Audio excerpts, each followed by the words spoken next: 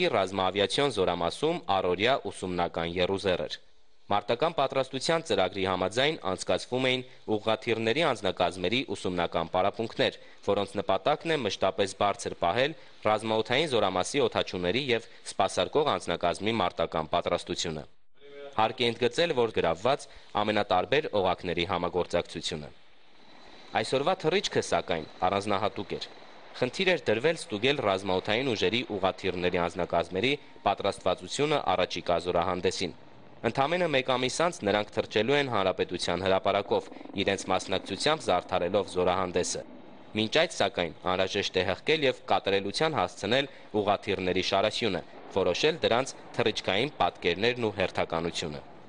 Յուրաքանչյուր հնարավորություն հարկ է ծառայեցնել առաջիկա զորահանդեսում պատշաճ կերպով հանդես գալու համար։ Դա է պատճառը, որ զորամասում այսքան մեծ ուշադրություն է դարձվում նախապատրաստական փուլի շրջանակներում անցկացվող այսօրինակ գործնական թռիչքներին։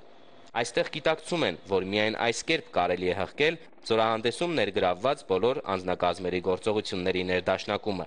Իսկ դա, ինչպես ցույց է տվել անցած զորահանդեսներին ունեցած մասնակցության փորձը, արժանավայել հանդես գալու գլխավոր նախադրյալներից մեկն է։ Պաշտպանության նախարար Սեյրան Օհանյանն